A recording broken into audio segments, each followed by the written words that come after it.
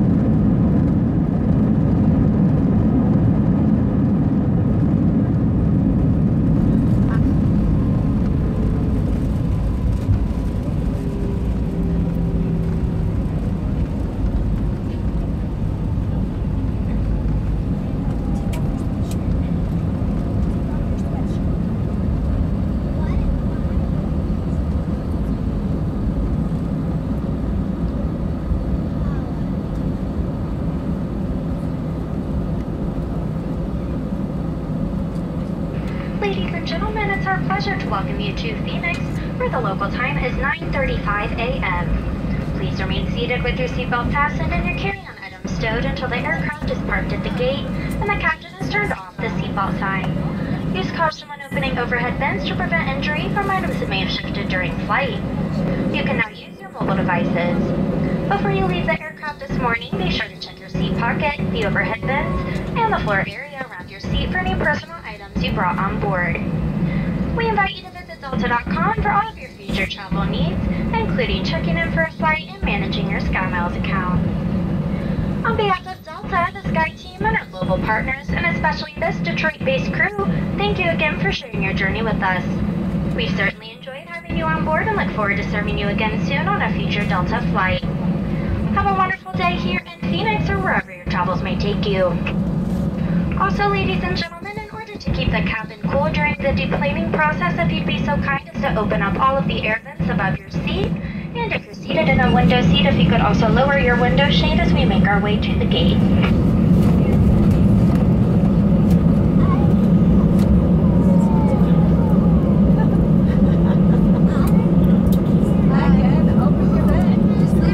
There's the new Terminal 3 right there. See how that's the new terminal right there. They built a whole new terminal right there. They did a pretty good job.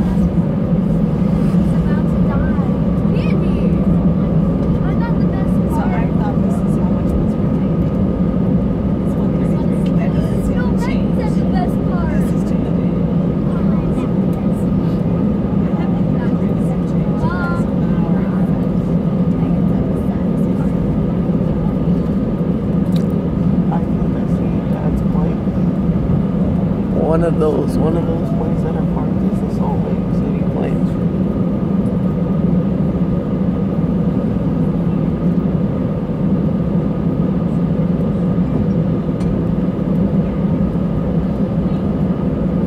You know, this reminds me of U.S. Airways because of